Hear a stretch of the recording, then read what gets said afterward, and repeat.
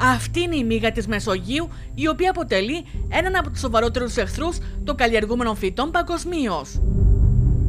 Και στα αμπέλια της Κρήτης έκανε αισθητή την παρουσία της το περασμένο καλοκαίρι, χωρίς να δημιουργήσει προβλήματα, όμως δεν πάβει να αποτελεί μελλοντική απειλή για τις καλλιέργειες.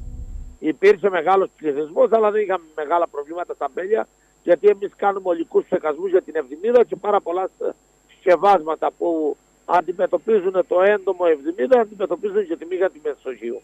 Είναι μια μελλοντική απειλή, γιατί όταν βλέπουμε μεγάλους πληθυσμούς του Δάκου που να υπάρχουν στα ελαιόδεντρα, ποιος μας λέει ότι και η μύγα που είναι πρώτη ξαδέρφη του Δάκου δεν θα έχει μεγάλους πληθυσμούς την νέα χρονιά που έρχεται. Γεννάει μέσα σκουλίκια ε, και το σκουλίκι τρυπώντας τη ράγα που έχει χυμούς μέσα, ε, οι χυμοί του σταυλίου τρέχουν κάτω και το διαλάει. Δεν το, το, το προϊόν αυτό είναι, δεν μπορεί να γίνει τίποτα. Ούτε στα φίδα, ούτε να πάει στην κοινοποίηση, ούτε στην επιτραπέζια χρήση. Πάει εκεί που έχει δροσιά. Σε ποιε περιοχέ του νομού; Το Ηράκλειο, το, το, το Ηράκλειο, όλος ο νομός Ηρακλείου, όλη η αμπελουργική ζώνη σχεδόν είναι ε, την προσβάλλει.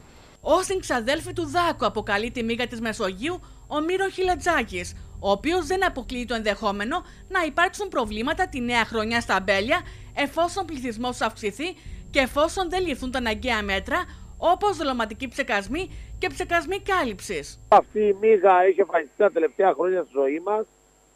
Ε, ξεκινάει και κάνει επιδρομές μετά το μήνα Αύγουστο όπως τις κάνει και ο Δάκος την αντιμετωπίζουμε με δολοματικούς τσεκασμούς ευελπιστούμε του χρόνου να μην έχουμε μεγάλα προβλήματα όπως υπήρχαν τα μεγάλα προβλήματα με το Δάκο. Θα πρέπει οι παραγωγοί να προσέξουν του χρόνου στη νέα καλλιεργητική περίοδο να είναι πολύ προσεκτικοί, να συμβουλευτούν τους γεωπόνους. Είναι όπως το δάκο. Δηλαδή, όταν οι γείτονες δεν κάνουν δολοματικό και κάνεις μόνος σου, τραβάς όλο το πρόβλημα στο χτήμα. Άρα και εκεί πρέπει να γίνει καταπολέμηση όπως το δάκο. Δυστυχώς. Δυστυχώς. Ο πώ μειώνει. Όχι βέβαια. Και πιάνει όλα τα δέντρα. Πιάνει και το πορτοκάλι, πιάνει, τα πιάνει όλα.